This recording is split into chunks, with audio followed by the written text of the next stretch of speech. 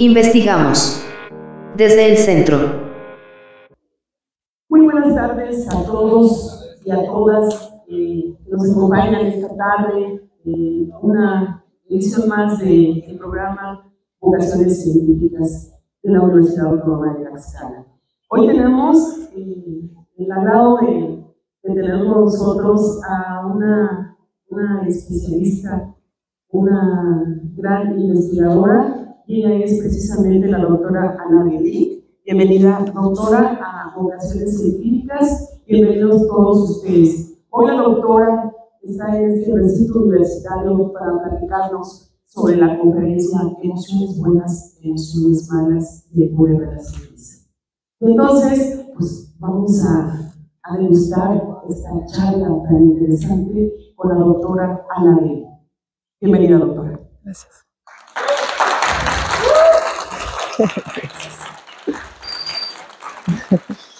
La doctora Ana Beli es licenciada en Lingüística, Odontología y Derecho Europeo Internacional. Eh, también se ha especializado en enseñanza de idiomas extranjeros en educación superior desde la visión educativa de la UNESCO. Actualmente realiza un proyecto de investigación postdoctoral en el Centro de Investigación Educativa de la Universidad Autónoma de Tlaxcala con el apoyo de CONACYT. También participa en actividades de investigación en el marco del convenio con la Secretaría de Educación Pública de Tlaxcala para la aplicación del nuevo marco curricular en establecimientos de educación básica, media superior y en la formación de docentes normalistas. Y entonces, pues nos dejamos con la doctora Ana Pérez. Bienvenida, doctora. Gracias. Muchas gracias. Pues antes que nada, muchas gracias por estar aquí un viernes por la mañana. A lo mejor quisieran estar en otro lado. Ahorita que fui al baño escuché una pregunta muy interesante de una jovencita que está aquí en primera fila. Ma, ¿por qué me trajiste acá? Bueno, haya sido cual haya sido la razón, les agradezco que estén acá, no les voy a quitar mucho tiempo, la idea es bastante brevemente compartir dos puntos, ¿no? ¿Por qué? ¿Cómo llegué a formar parte del Centro de Investigación Educativa? Es decir, cómo llegué a la investigación yo como persona y un poquito platicarles de lo que trata mi investigación, que el spoiler pues es el título mismo de la, de la conferencia, ¿no? Y bueno, sin tardar más, pasamos a la primera parte. La primera parte es mi camino, mi camino como persona y bueno, como investigadora también. Yo soy rusa, ¿no? Como a lo mejor no se alcanza a ver muy bien de fondo, uh, son como dos banderas que a manera de rompecabezas uh, se entrelazan, porque en mi destino, pues ha sido Rusia, ¿no? De inicio, incluso la Unión Soviética, yo todavía viví los últimos años de la Unión Soviética. No quise poner la bandera porque luego espanta por alguna razón. a Rusia entonces y México, ¿no? Llegué a México hace, mañana cumplo 19 años, ¿no? De aquí en México. Uh, este camino empezó en Rusia y uh, empezó en compañía de una hermana mayor y de papá, mamá. Aquí quiero empezar diciendo que creo, creo que todos nacemos con la vocación científica. No hay realmente una persona que, que no tenga la capacidad de o que no haya nacido para ser investigador. ¿Por qué? Porque tanto en Rusia como acá saben que a la tierna edad de cinco años, que es la edad que tengo en la foto, es la bella edad de los cinco años cuando todo es, todo son preguntas, ¿no? ¿Por qué? ¿Y esto por qué? ¿Y esto por qué? Y es algo que nunca termina, ¿no? Realmente. Bueno, lamentablemente termina cuando mamá o papá se cansan y dicen, pues porque sí, o porque lo digo yo, o porque no sé, porque no importa, ¿no? Porque pregúntale a alguien más, ¿no? Pregúntale a tu profesora, a tu profesora, ¿verdad? yo eso no lo sé. Creo, creo que todos nacemos con este impulso de la pregunta. En adolescencia pasamos al impulso de la respuesta. Se ve claramente en la carita de mi hermana mayor, aquí con su mirada media malvada, sí fue media malvada mi hermana, sigue siendo, ¿no? Desafiamos, nos creemos más listos que los papás, tenemos todas las respuestas, ¿no? Y luego llegamos a la adultez y diría, ah, compañero Daniel, nos cambian todas las preguntas y nos quedamos sin respuestas y las seguimos buscando, ¿no? En palabras de, del tan querido y apreciado Benedetti, tanto por Daniel como por muchos, que nos gusta esto de investigar. Ah, entonces, creo que todos nacemos con vocación científica, sin embargo, no somos todos iguales, ¿no? Tenemos un acercamiento distinto a... Ah, a la, ciencia. Y yo podría platicarles de mi acercamiento, por ejemplo, con mis tutorados de doctorado ahorita. Dos, los compañeros saben que de los dos tienen como acercamientos muy difíciles, ¿no? Eh, muy diferentes, perdón. Uno como muy cauteloso y va con calma, y la otra es como viene y dice, nada de esto sirve, yo voy a hacer algo mejor. Y las dos, uh, los dos acercamientos uh, se valen. Lo mismo se observa en la niñez y quiero ejemplificarlo con un, ah, bichito que marcó mucho mi niñez. Todos los veranos, que en Rusia las vacaciones de verano, a diferencia de México, son de tres meses, mis papás no tenían nada que hacer con nosotros y nos mandaban con mi abuela. Mi abuela vivía pues en un lugar del norte de Rusia muy, muy rural, ¿no? tenía su huerto uh, y nos tocaba muchas veces eliminar la maleza y también luchar con esta plaguita, ¿no? Porque realmente es una plaga de las papas, ¿no? Se siembran las papas, se guardan en los sótanos que siempre son frescos, alcanzan para todo el año, es toda una cultura. Pero bueno, este bichito, ¿por qué, ¿por qué viene a colación? Porque me ha acompañado desde muy pequeña y me ha hecho reflexionar como en muchas cosas desde muchas disciplinas. En ruso se llama algo así como escarabajo de Colorado, ¿no? Y uno dice, ah, ¿por qué de Colorado? ¿No? uno a los cinco años primero va al mapa y dice, ¿dónde carambas es eso, Colorado? ¿No? Entonces se da cuenta que está del otro lado del mundo. Ah, y entonces, ¿qué hace en el huerto de mi abuela, no? Ese, ese bichito. Y entonces uno se da cuenta que, bueno, se llama así el escarabajo de Colorado en Rusia, ¿no? aquí se llama escarabajo de la patata, nada más, ah, porque llegó, ¿no? de hecho es un bichito endémico de Sonora, de México. Lo curioso que es la vida, ¿no? Nunca pensé yo a mis cinco años luchando con esta cosita en, las, en la planta de papa de mi abuela, que estaría viviendo del otro lado del mundo donde es endémico este bichito, ¿no? Entonces, primero la geografía, ¿no?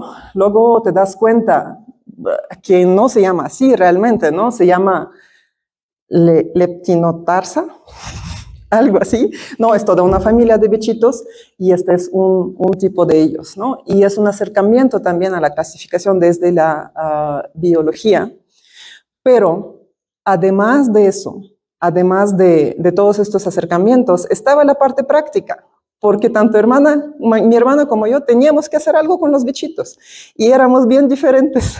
Esto yo no me acuerdo honestamente, pero siempre me han platicado que yo de niña era así como de, ay, no, mariposita, ay, el bichito, ¿no? Entonces yo estaba así con los escarabajitos, ay, qué bonito, ¿no? Mira, tiene 10 rayitas y todas infaliblemente tenían 10 rayitas.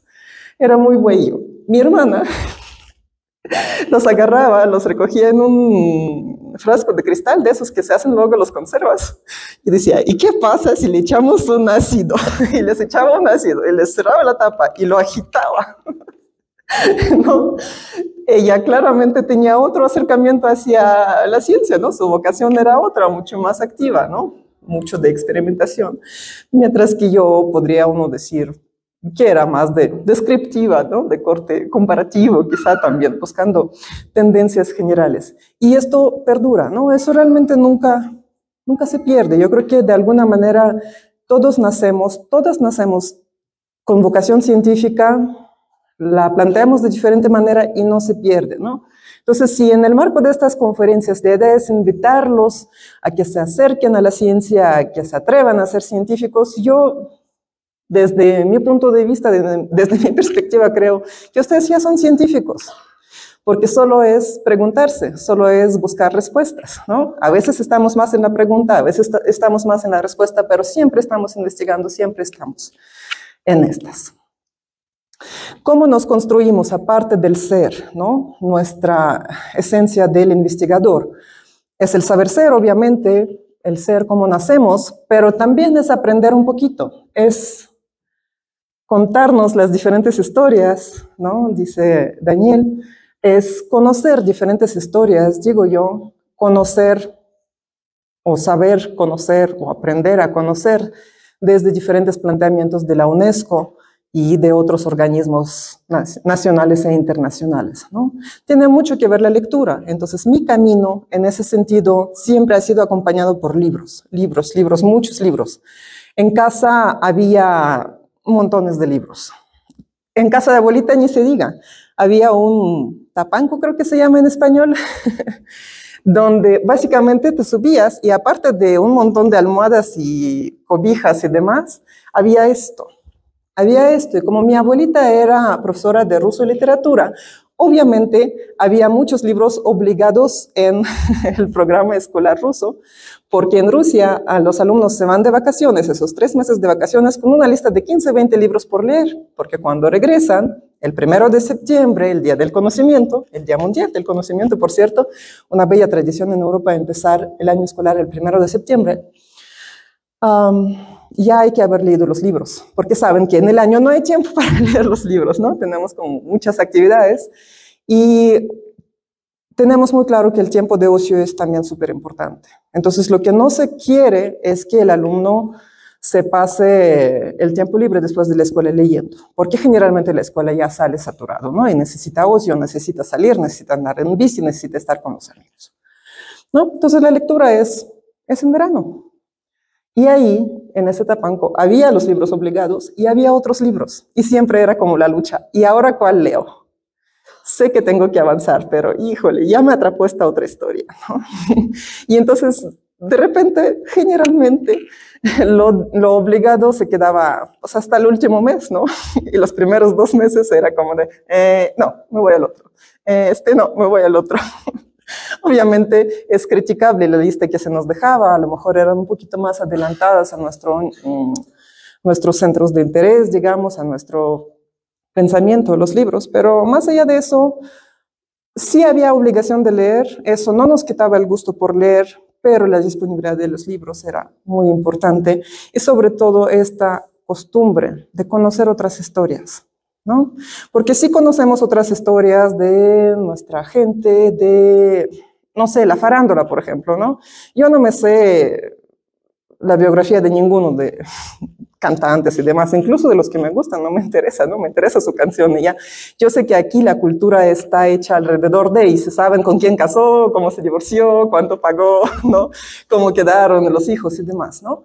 Esas son algunas de las historias que nos podemos contar. Los libros nos ofrecen otras historias, historias que van mucho más allá de estados civiles, de cantidad de hijos, de monto de dinero que se paga en un divorcio. Y estos son Creo que son las historias que necesitamos conocer para podernos construir mejor desde un ser, como nacemos, y desde el aprender o desde el conocer. Además de esto, ah, también nos construimos a partir de lo que hacemos. Y bueno, mi camino en particular hacia la investigación, quiero pensar que ahí, ahí ya se empezaba a tejer todo, fue muy variado. O sea, nunca fue solo la escuela. Nunca, nunca, nunca. Siempre fue en la tarde, que las clases de cocina, que el macramé, hice un búho precioso, un perro también, unas cosas para, se llaman cashpo, para flores, ¿no? Para, para detener las macetas con flores, que yo tenía un montón, montón, montón de plantas en mi cuarto cuando era chiquita. Iba a una escuela de artes, Quería estar en taekwondo, me sacaron de ahí, lamentablemente. Pero creo que es importante, de alguna manera, y por eso está aquí Leonardo, y por eso está la palabra polímata. Polímata significa una persona que sabe hacer un poco de todo, que le hace un poco a todo, ¿no? Sabe tocar instrumentos, estudia ciencias, estudia idiomas, es capaz de apreciar la belleza tanto en lo estético como en lo cognitivo. ¿no? Y creo que necesitamos un poquito este perfil. Este perfil se fomentaba naturalmente en mi ambiente cuando yo era chiquita y ahorita muy en la tendencia de la escuela, casi casi que debe preparar para el mercado laboral desde la tierna infancia, ¿no? desde la primaria, es muy triste porque lo vamos perdiendo, ¿no? Y todo se va sesgando hacia el conocimiento. Y no el conocimiento que acabo de mencionar, ¿no? No es conocer otras historias, es conocer partes técnicas, ¿no? Que nos hagan buenos trabajadores o que hagan que otra gente gane más dinero con nuestro trabajo porque no desperdiciamos nuestro tiempo. No, yo creo que tenemos que saber mucho más que eso, tenemos que ser mucho más que eso.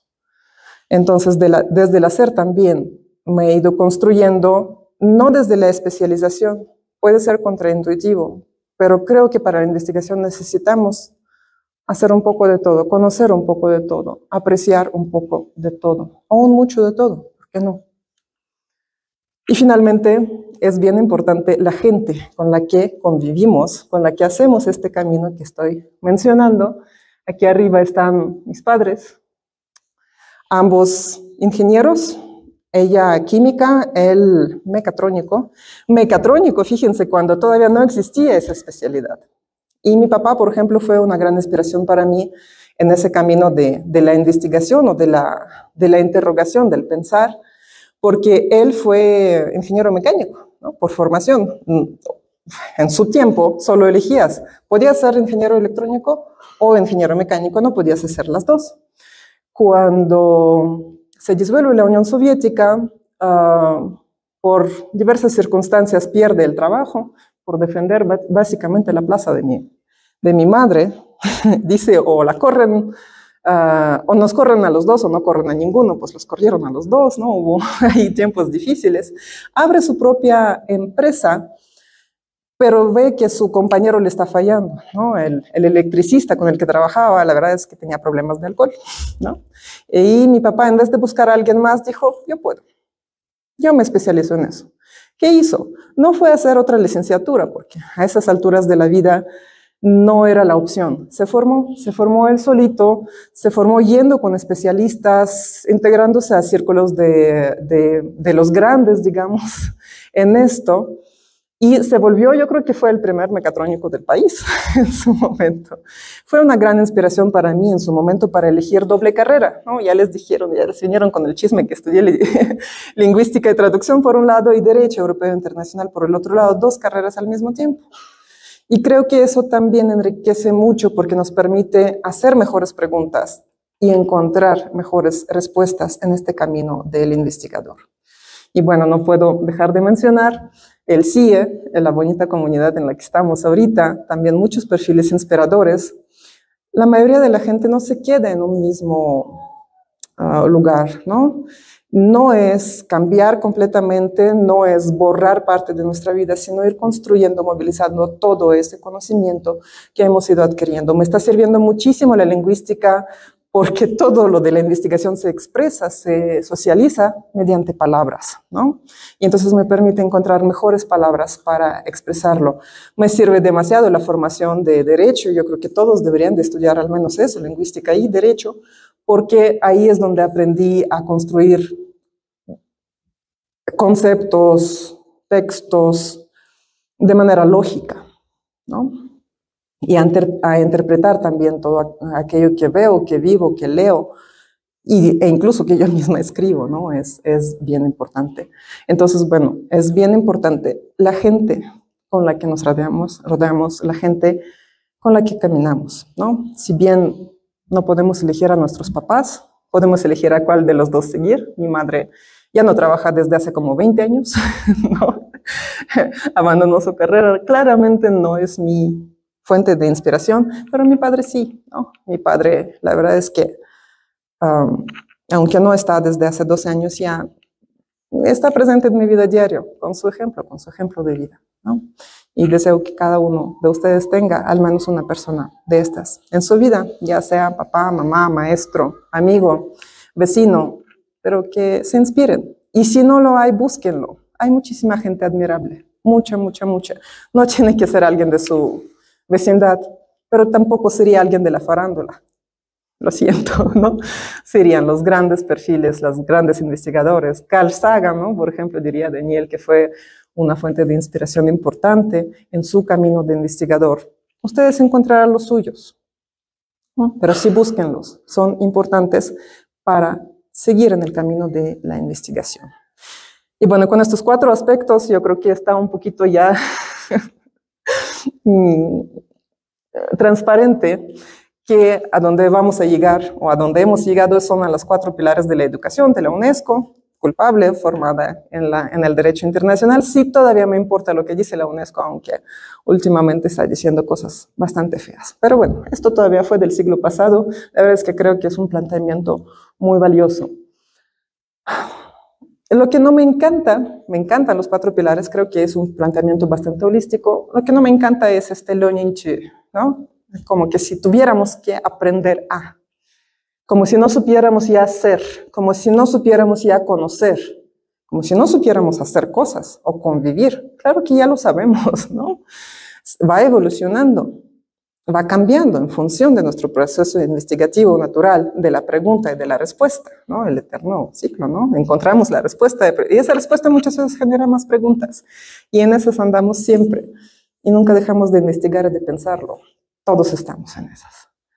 Y entonces, reitero, mi camino, y creo que es el camino de todos los que están acá, es que todos somos investigadores y si seguimos con el método científico, estaremos pensando a lo largo del camino, ¿no?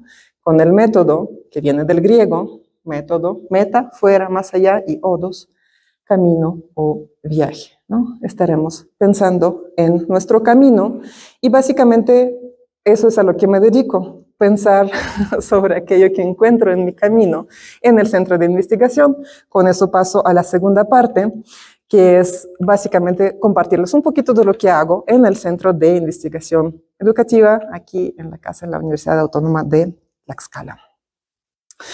Mm, no juraría que fue Albert Einstein, pero fue alguien con esa magnitud de talento que dijo alguna vez, me doy cuenta que soy como un niño que está jugando con las conchitas frente a un enorme mar de conocimiento.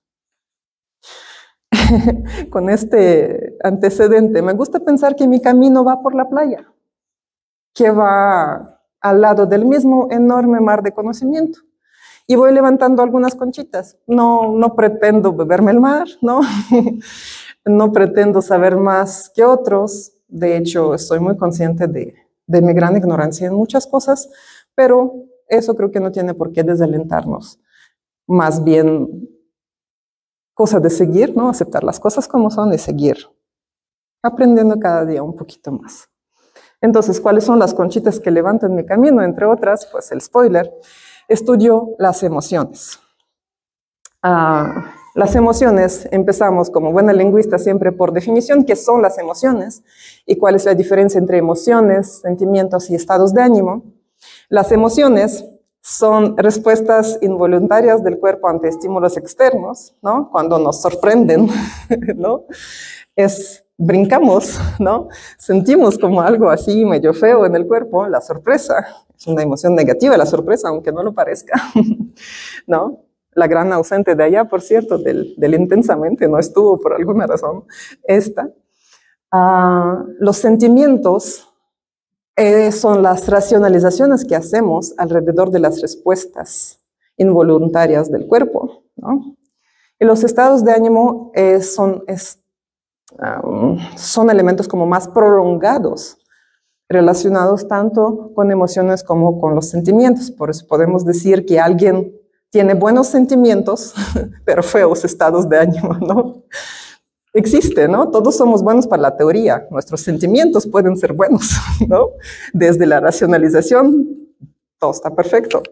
Pero híjole, cuando es cosa de convivir, los estados de ánimo pueden ser un poco complicadas dependiendo de, de cómo traducimos los sentimientos y las emociones en aquello que hacemos todos los días y cómo tratamos a las personas. Estas emociones, ah, en ellas se basan también los sentimientos, en ellas se basan los estados de ánimo, fueron trabajados por Paul Ekman en los 70, no, no es un tema para nada nuevo, tampoco tan viejo, ¿no? Es un investigador americano de origen judío, la verdad es que los judíos yo creo que hicieron como una gran parte de todo esto de la, de la ciencia, al menos en, en mi campo, los admiro muchísimo, la verdad es que son gente muy, muy inteligente, los invito a leer sobre lo que ha hecho Paul Ekman, si les interesa eso de las emociones, yo creo que es el autor para el conocimiento base. Pero bueno, lo que podemos observar aquí nos falta, como les dije, un personaje, sería la sorpresa. ¿De qué color sería la sorpresa? ¿De qué color la pondrían? Naranja. Muy bien. O rosa. Interesante. Muy bien. Podemos ver que de estas, de todas estas, positiva, Solo hay una, la alegría. ¿Esto como qué les dice?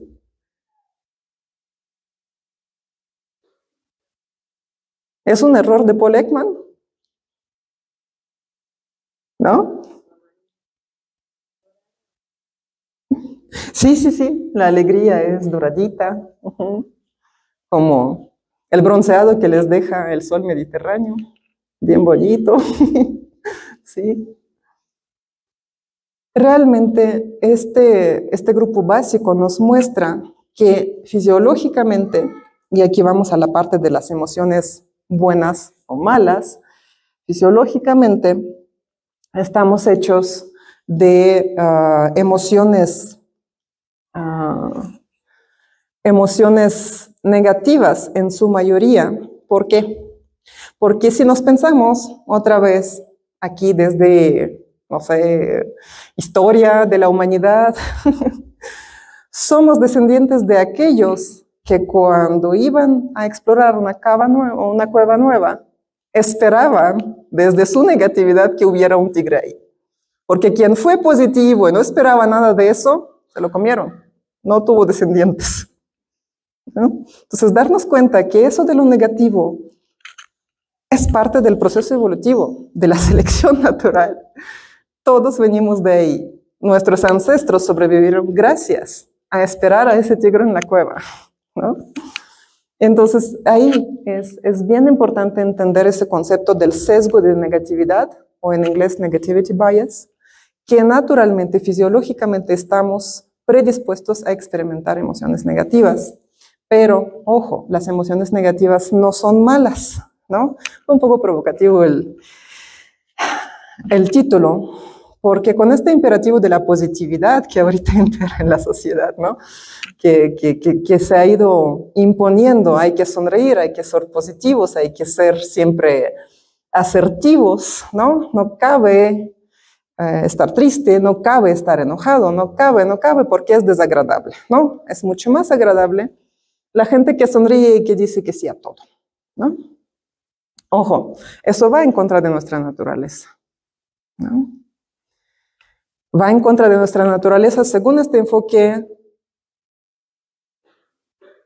evolutivo, pero también desde la investigación psicológica hay algo bien interesante que quiero compartirles, precisamente para ya no tachar de malas las emociones negativas.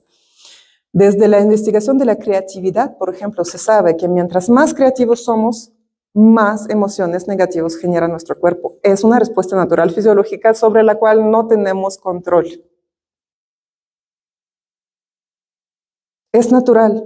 Mientras más creativos somos, más emociones negativas experimentamos. Lo mismo sucede, y esto empieza en la adolescencia, con la construcción de sentido.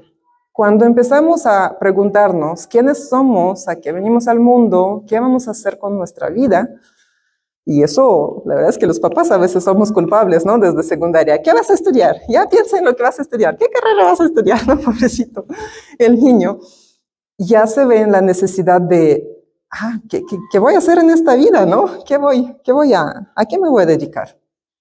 Y yo creo que esto bien puede esperar, ¿no? Realmente desde el entendimiento que la generación de sentido, de rumbo de vida genera emotividad negativa, aunada a los cambios hormonales, aunada al negativity bias natural, ¿no?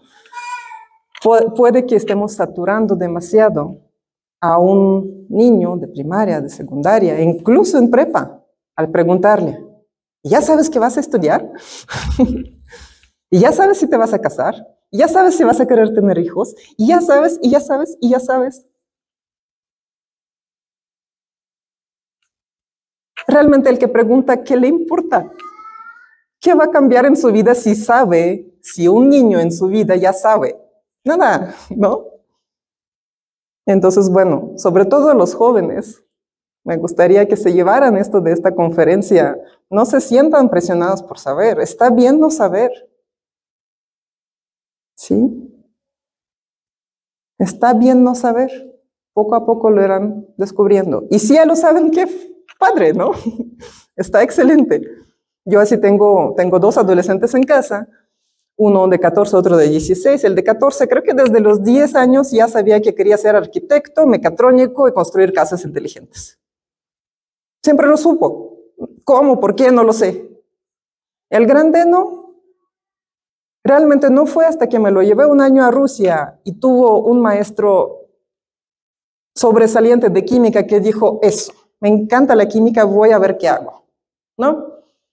Obviamente todo es como, ah, sí, claro, su abuelita es ingeniero químico, yo fui buena en química en la escuela, pero no la quise estudiar para molestar a mi mamá, pero bueno, mi hijo igualicito, retoma la química, toda la emoción, pero lo importante es que nunca hubo esa presión, ¿no? Él lo descubrió solito.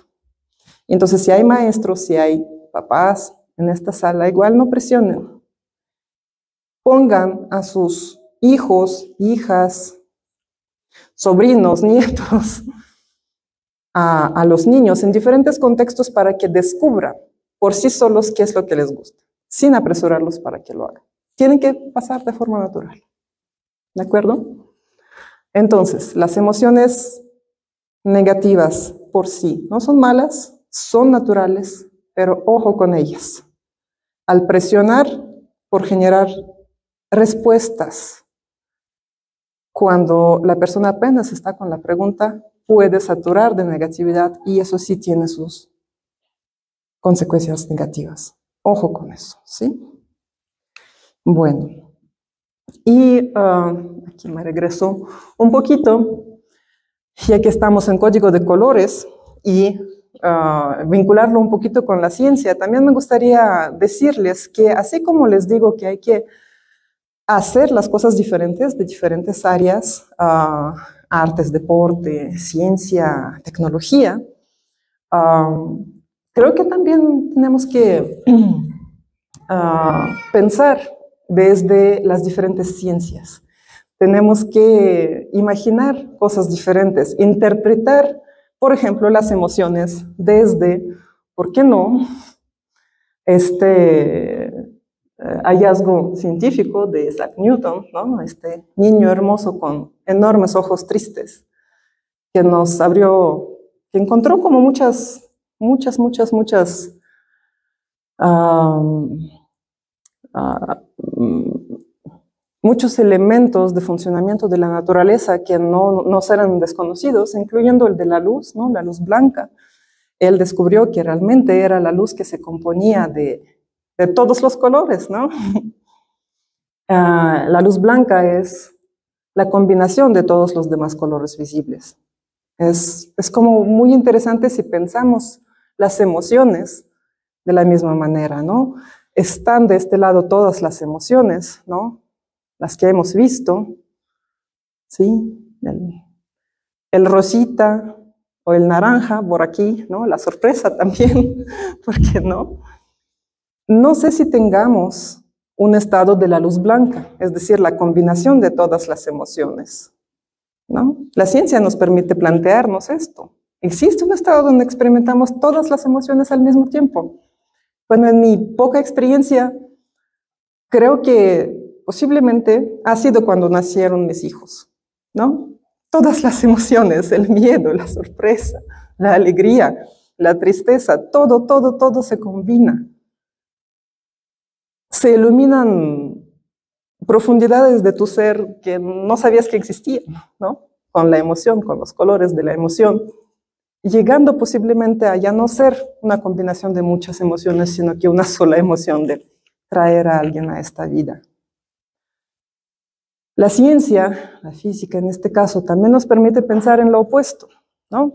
El color blanco es la combinación de todos los colores. ¿El color negro qué es? ¿Qué es el color negro?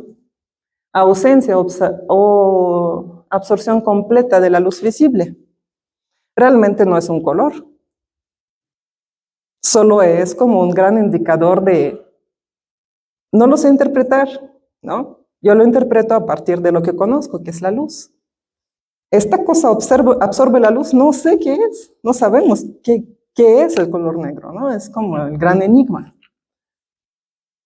Y eso, si lo trasladamos a la experiencia emocional humana, yo creo que es más cercano también a, ese estado como de estar ausente emocionalmente, estar indisponible emocionalmente, puede suceder por cuestiones fisiológicas con psicópatas y sociópatas, ¿no? Pero puede también suceder en la vida de cualquier persona por dolor, ¿no? Muchos dicen que es por pérdida, ¿no? Ah, el bloqueo emocional sucede por pérdida. La verdad es que hay pérdidas que dan gusto, ¿no? hay no necesariamente la pérdida nos va a bloquear, pero si nos causa dolor, sí. Entonces, cuando hay dolor, desde el dolor, nos podemos convertir en ese gran color negro. Y cuando sucede eso, y aquí quiero hablar un poquito del poder de la sonrisa, lo que nos toca hacer, creo, es usar el poder el poder que tenemos en nuestras manos. Y no estoy hablando del poder en términos de, estamos hablando de otra ciencia o al menos otra disciplina de, de los filósofos, ¿no? Ese poder que manipula, que somete, que nos hace hacer todo tipo de cosas horribles. Muchas veces se dicen, bueno, el poder se sube a la cabeza cuando la cabeza está vacía. No estoy de acuerdo con eso, porque el poder se le ha subido a la cabeza a personas muy inteligentes, de hecho, para querer conquistar el mundo y lograrlo, en cierta medida hay que ser muy inteligente. Tener mucho conocimiento no impide que el poder se nos suba a la cabeza. Pero si el poder no está anclado al corazón, si no está anclado a nuestras emociones, ahí sí, como un globito con helio, se nos sube la cabeza. Entonces ese poder anclado a nuestro corazón tiene que ver con la sonrisa. Y la sonrisa, ¿qué hace? ¿Qué hace con una persona que está en ese negro total? A lo mejor pone un poco de superficie en la que se puede reflejar la luz y reflejar un poquito alguna imagen.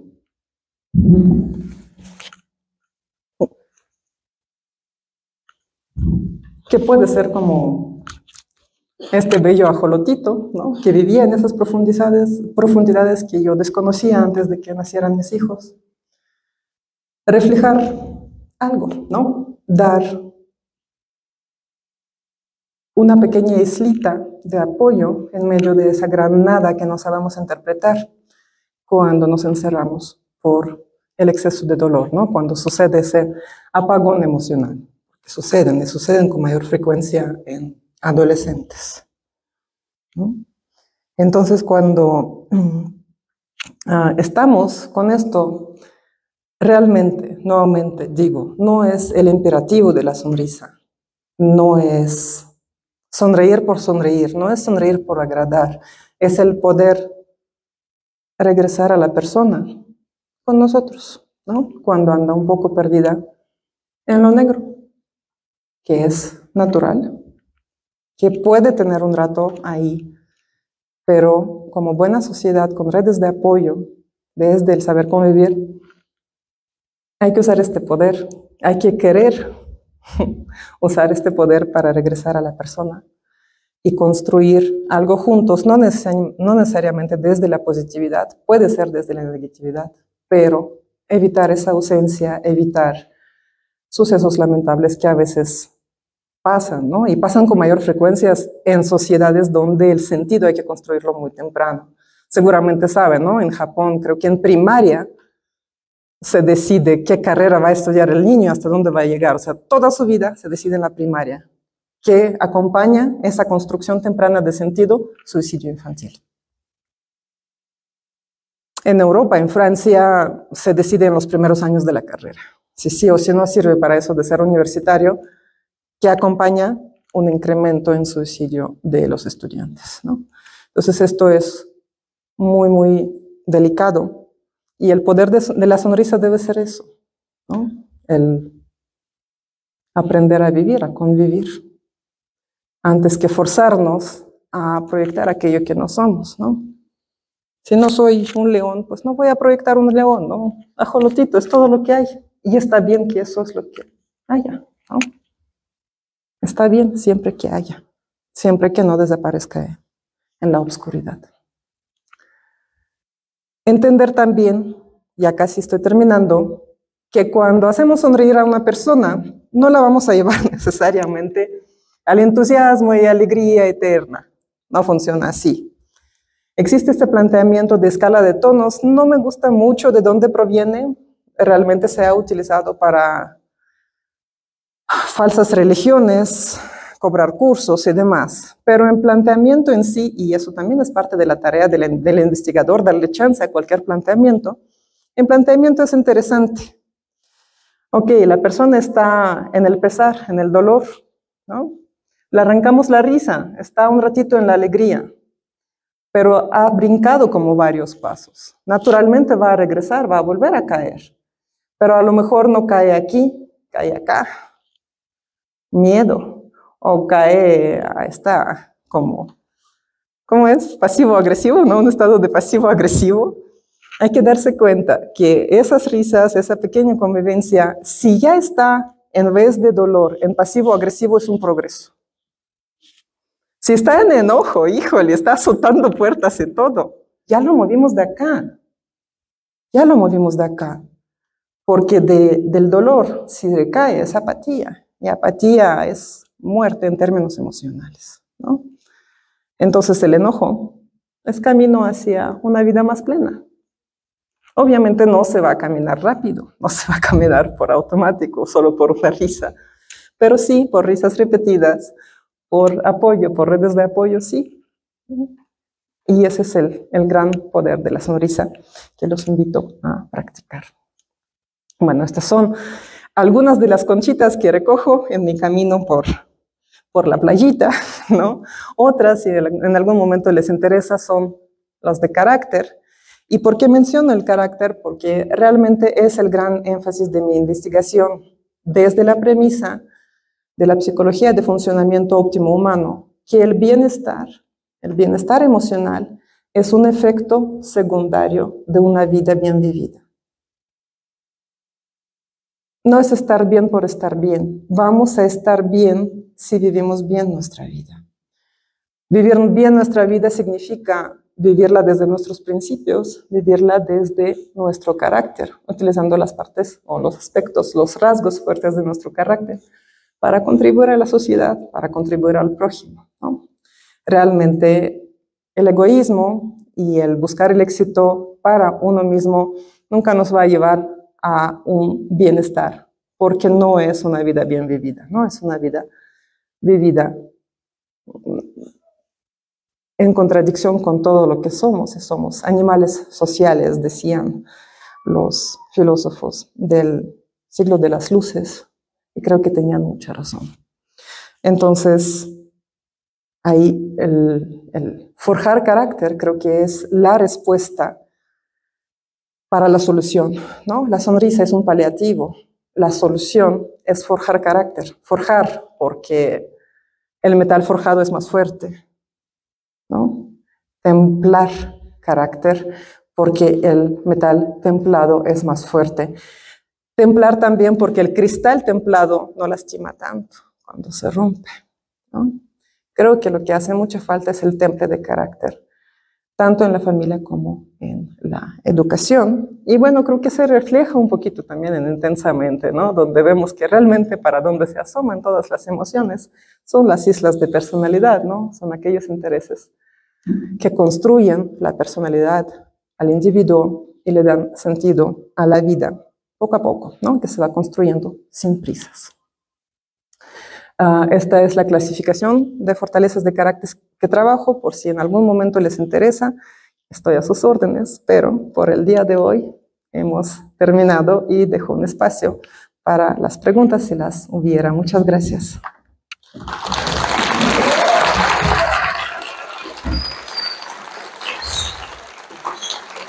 Pues agradecemos a la doctora Ana por compartir tan importante tema, eh, emociones buenas, emociones malas de la sonrisa. Y ahora toca a nuestro público que hoy nos acompaña, ¿sí? Eh, padres de familia, si eh, existe algún comentario, alguna pregunta para la doctora con el tema que nos, compartió sobre emociones buenas, emociones malas de la sonrisa. ¿Tenemos alguna pregunta, algún comentario al público? Claro, con mucho gusto. Tenemos por aquí, por favor, si acercamos el micrófono. Por favor.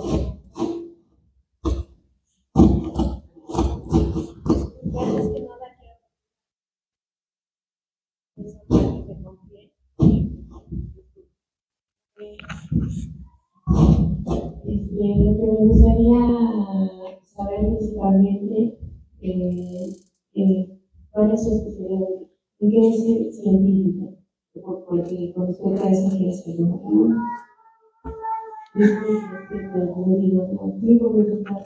Sí. Claro, lo que decíamos es que realmente no tengo una trayectoria así como que de licenciatura a doctorado uniforme. Inicié formándome como lingüista traductóloga y abogada, jurista en el Derecho Nacional e Internacional. En la maestría estudié psicolingüística, cuestiones de aprendizaje ya muy específicos de memoria y aprendizaje de vocabulario. Dejé pasar 10 años para madurar el tema de investigación del doctorado y en el doctorado ya caminé ya no psicolingüística, sino psicología educativa, que es el ámbito en el que estoy haciendo ahorita la investigación y desde el enfoque relativamente nuevo que ya no está en la disfunción, ¿no? Porque honestamente no tengo el estómago para estudiar la disfunción. Dice, decía Nietzsche y algunos otros poetas franceses también que no hay que ver el abismo, porque el abismo te devuelve la mirada. Yo siento muy penetrante esa mirada del abismo. No tengo el estómago para estudiar la disfunción, pero sí la función, el buen funcionamiento. Entonces, lo estoy estudiando, la psicología educativa, desde el enfoque de funcionamiento óptimo humano, construcción de carácter, ¿no? de la identidad ubicua, como lo estamos trabajando ahorita en un proyecto de la normal, es decir, no fragmentada, alguien entero, auténtico, que es capaz de construir su propio sentido siguiendo su propio camino de investigador, ya sea formal o informal.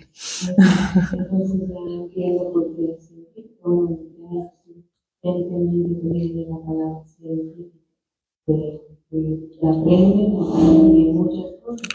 yo pensé, pensé que era científico, o sea, así, por eso que tomó de trabajito.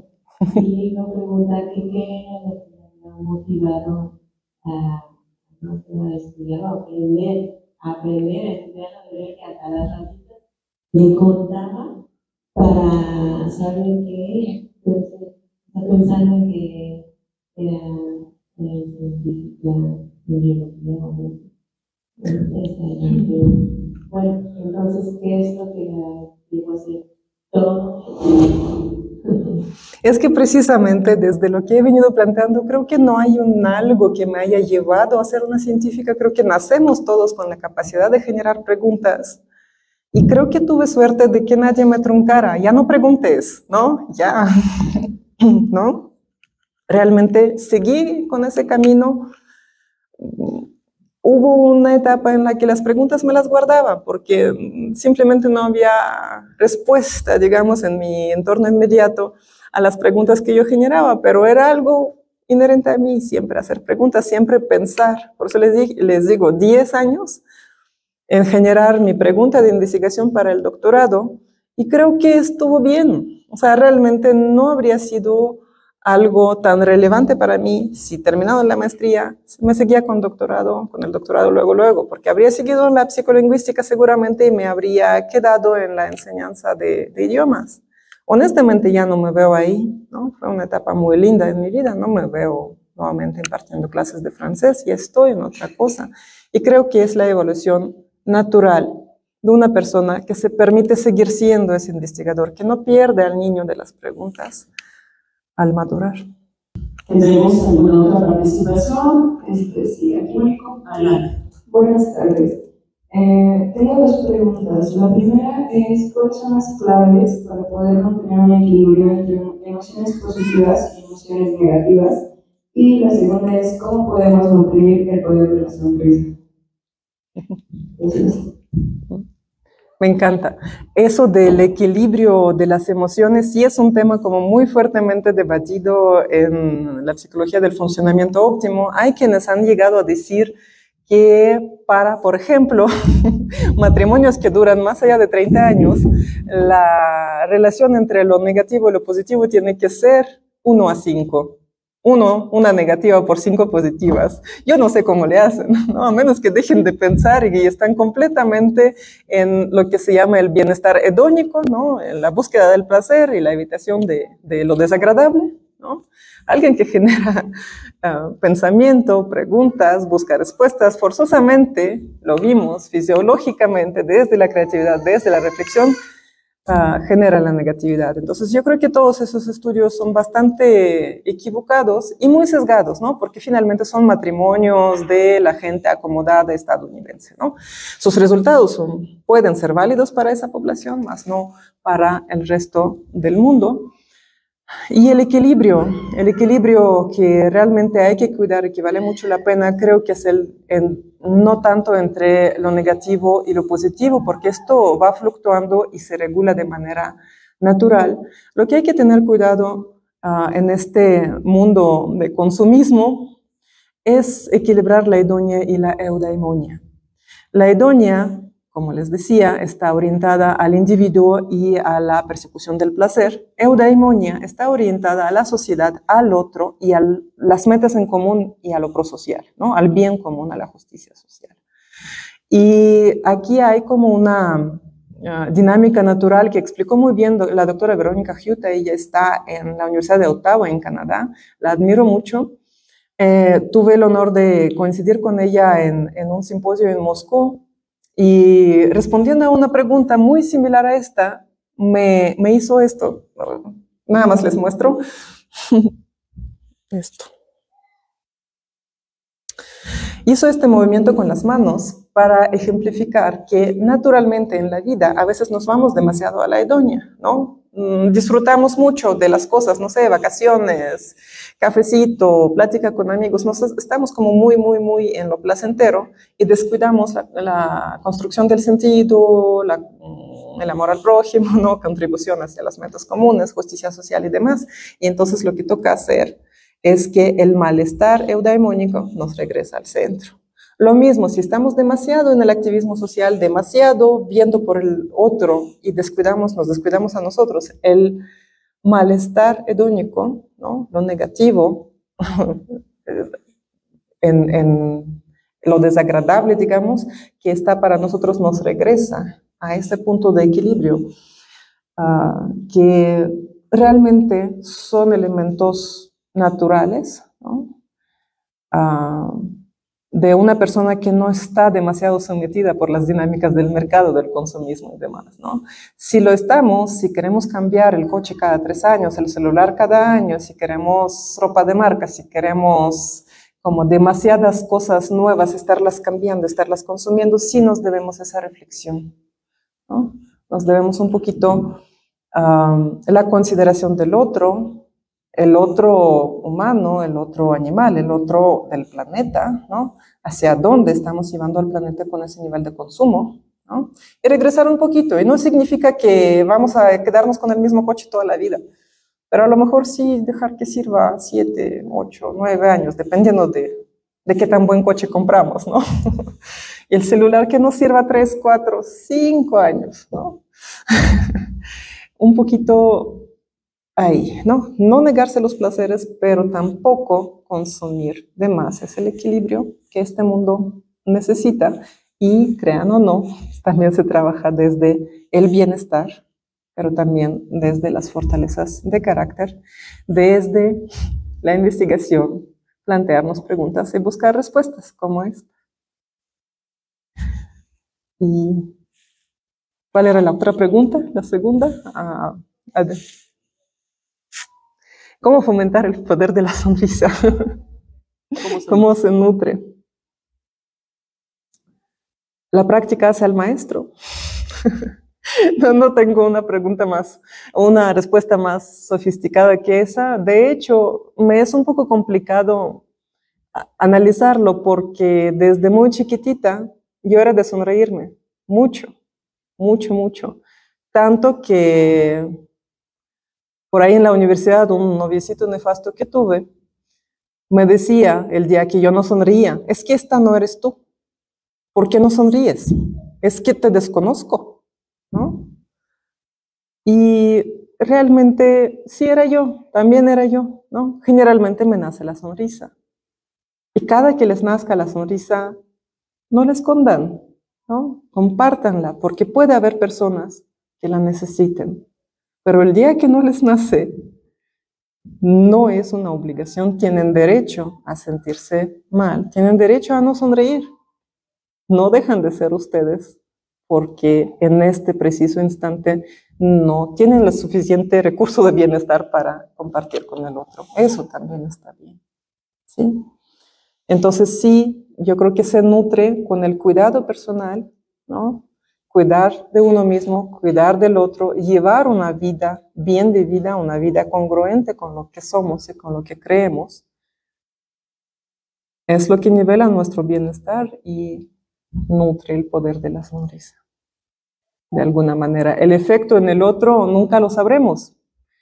No lo podemos controlar ni tendríamos por qué controlarlo siempre va a ser diferente. Me marcó mucho una experiencia de la normal, donde están ahorita trabajando las narrativas los docentes.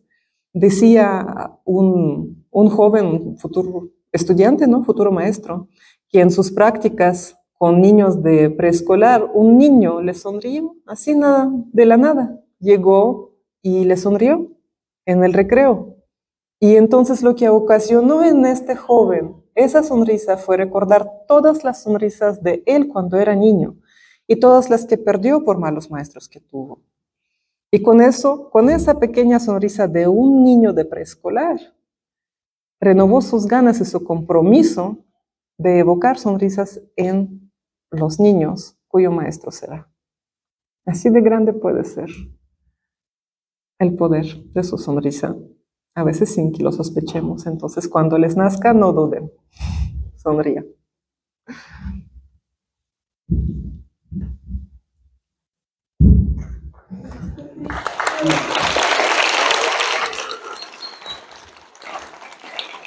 Tenemos una pregunta más. ¿Usted cree que podemos llegar a controlar nuestros sentimientos o emociones? Regresando nuevamente a la definición, las emociones no es posible controlarlas, es una respuesta involuntaria del cuerpo ante estímulos externos, no es algo que sucede en nuestro cuerpo, no es el cerebro límbico, si no me equivoco, que se encarga de esto. Hay una parte de nuestro cerebro que se encarga de eso y no le pregunta a nuestra corteza prefrontal si queremos o no que suceda, simplemente sucede, ¿no? Entonces eso de de control emocional es un oxímoron, no, eso no existe, es como frío caliente, no, no, no, es posible, no existe. Los sentimientos, desde luego que son controlables porque son elucubraciones nuestras al respecto de las emociones que estamos teniendo, ¿no? Son elaboraciones cognitivas, por lo tanto, obviamente, las vamos moldeando en función de nuestras vivencias, de las historias que conocemos, lo que leemos, lo que conocemos de la ciencia y cualquier otro input a nuestro sistema inteligente, ¿no? Esto eh, eh, no solo puedes, naturalmente siempre está evolucionando, siempre está cambiando y precisamente esa le llaman ahorita la palabrita de moda metacognición, ¿no? La cognición acerca de la cognición, pensar sobre aquello que pensamos en cuestión de sentimientos, sí, no solo podemos, lo estamos haciendo todo el tiempo y es como parte de nuestro, nuestra evolución personal, de nuestro crecimiento que sucede independientemente de la escuela. Esto es parte del proyecto postdoctoral que estoy realizando ahorita. Dicen, se perdieron muchos aprendizajes, no, no aprendimos nada, retrocedimos, no hay el pánico. Y lo poco de información que he logrado reunir demuestra todo lo contrario. Hemos aprendido muchísimo y mucho, mucho, mucho en manejo emocional y se dio de manera natural, sin que la escuela hiciera absolutamente nada para eso. Somos inteligentes, somos investigadores, nos planteamos nuestras preguntas, encontramos nuestras respuestas y somos tan inteligentes que desde nuestras respuestas generamos nuestras preguntas y seguimos, siempre en constante evolución. Muy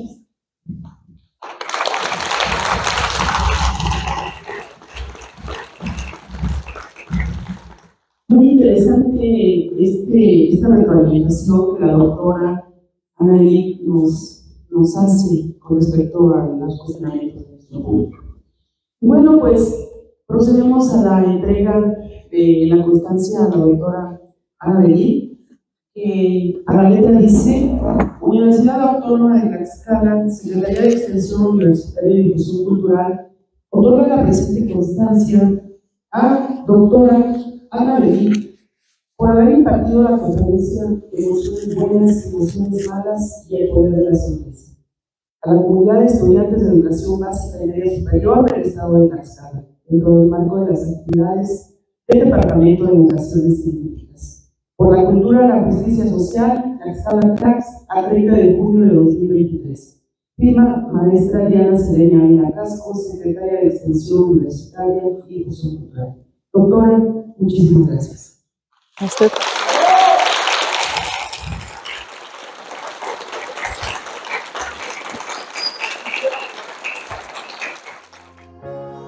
Búscanos en redes sociales como CIEUATX y síguenos. Es una producción de divulgación científica del Centro de Investigación Educativa de la Universidad Autónoma de Tlaxcala.